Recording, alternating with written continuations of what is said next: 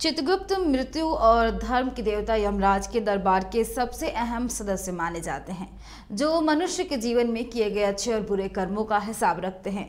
चित्रगुप्त पूजा यानी कलम और दवात की पूजा पूरे देश में आज मनाया जा रहा है। और वहीं राजधानी रांची में चित्रगुप्त पूजा को लेकर लोगों में हर्षोल्लास का माहौल है और रांची के बिहार क्लब में रांची जिला चित्रगुप्त समिति के द्वारा चित्रगुप्त पूजा का आयोजन बहुत ही भव्य तरीके से किया गया है। कहा जाता है कि यह त्यौहार कार्तिक माह के विक्रम संवत शुक्ल पक्ष के चंद्र दिवस के दूसरे दिन मनाया जाता है और मान्यता ये भी है कि चित्रगुप्त सभी प्राणियों के अच्छे बुरे कर्मों का हिसाब रखते हैं। कुछ बोलिएगा ना। हम लोग को इकट्ठा होना बता दे रहे बर्मा से डॉक्टर डॉक्टर से डॉक्टर है। चित्रगुप्त भगवान ब्रह्मा के पुत्र कहलाते हैं।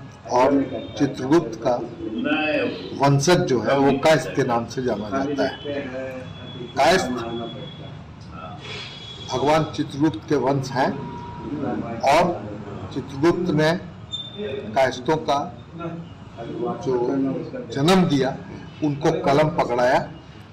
तो हम लोग कलम के देवता के रूप में चित्रगुप्त महाराज को याद करते हैं और उनके वंशज के रूप में हमारे वो परम पिता हैं और हम उनकी पूजा करते हैं।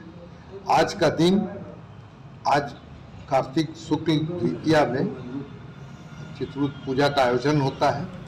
चित्रगुप्त पूजा के आयोजन में जितने भी कायस्थ हैं, वो सब पूजा करते हैं।